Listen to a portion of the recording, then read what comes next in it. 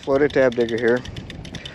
Just want to do a short video on this vintage DAM Quick 550. This is a German made reel, all metal and very well machined. I've had this for many years and it's just a, a cool reel to pull out and use. It's heavy. It's a great uh, surf reel. Right now I have it on a very cheap rod, so don't even consider the rod. It's just for this video. I'm just doing it for, for the reel itself. Got a big chunk of lead on there so I can cast it out there.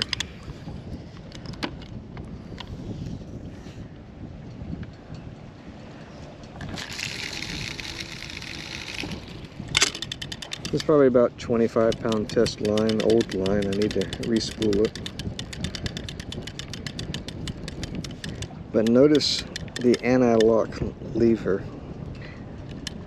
Every time it jumps to a new tooth, that little lever moves. And I think that is so cool.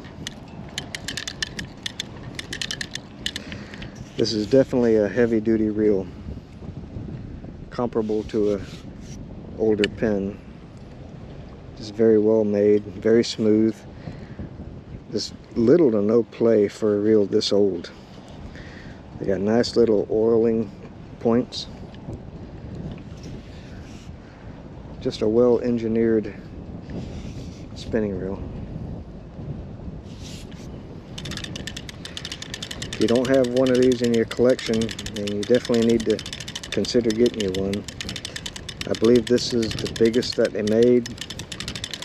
It's the only one I have at the present time. Uh, years ago, probably in the late 70s, I had a smaller one given to me.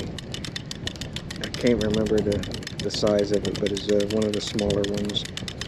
And I used it for quite a while and then just don't remember whatever happened to it.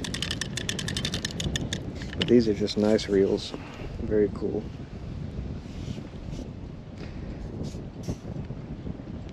So if you ever see one of these in pretty good condition selling on eBay, or at a garage sale, definitely worth uh, picking one up. It's a very nice reel to have.